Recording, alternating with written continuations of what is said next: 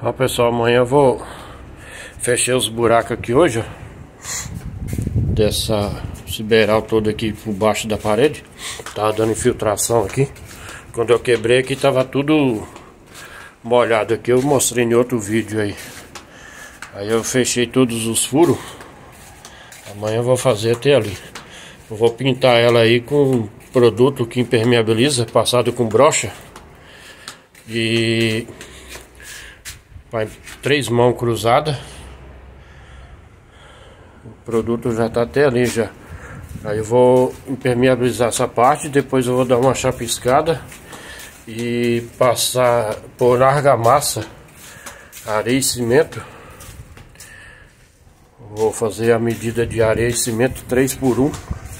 3 de areia, 1 de cimento e um produto impermeabilizar, para impermeabilizar a massa e fazer o acabamento.